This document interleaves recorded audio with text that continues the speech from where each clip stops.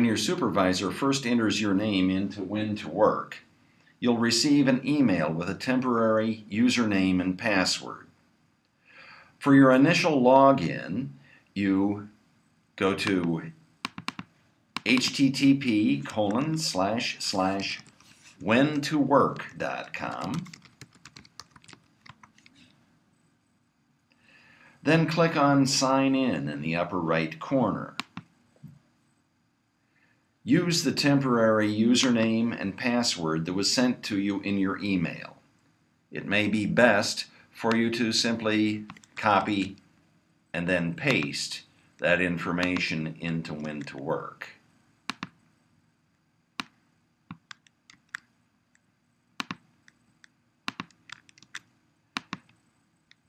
Then click Sign In, and you're going to create a new sign in ID and password. Although we're creating a sample account here with Media Test as its name, we ask that you use your Novell login as your sign-in ID. Click Go to Step 2. Now, enter your personal information, including your phone number and address. If you live off campus, enter your local address near campus. If you live on campus, please list your home address. We ask that you enter your cell phone number or whatever number you prefer to be reached at. Choose the box for all employees to see my phone number and email address. This is where other students will find you or your email address, your phone number, in the event that they need to contact you for a substitution or for an emergency. Then, once everything's filled in, click Go to the last step you have now successfully logged into When to Work. Click Go to my home page and you're ready to begin. If you're logging in and have already set up your account, simply go to https colon slash slash whentowork.com, enter the username and password that you created. Your username should be your Novell username.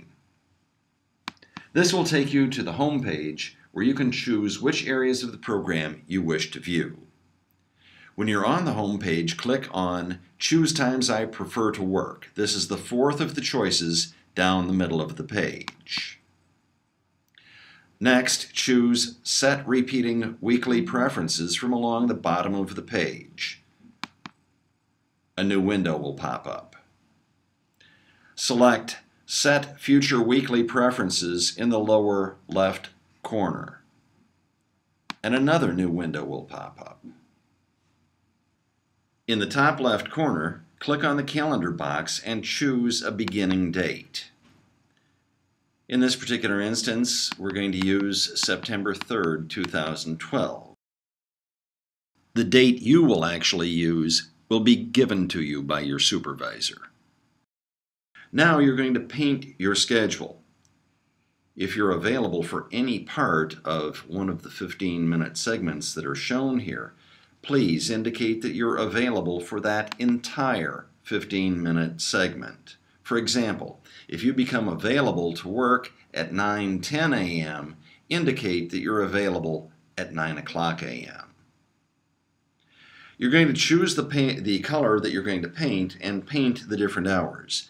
Green is where you're going to begin, indicating times when you can and would like to work. So paint green those areas first. The times when you can and would like to work.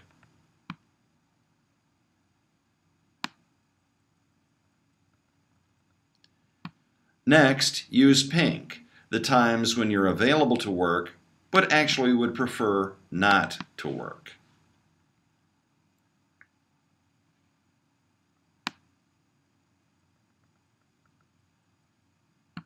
Depending on the browser you're using, the cursor, the roller, with which you're painting hours, operates a little bit differently. In some browsers, it works very much like a paint roller that you just drag across the areas that you want to color. In other browsers, you have to use the top edge of the roller actually as the pointer on a cursor. After doing both the green and pink areas, do the red areas, those times when you cannot work at all.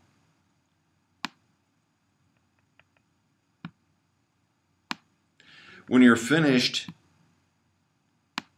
click Save Changes, which is located in either the top or bottom right corners. Then you can close that window because you've already posted your schedule.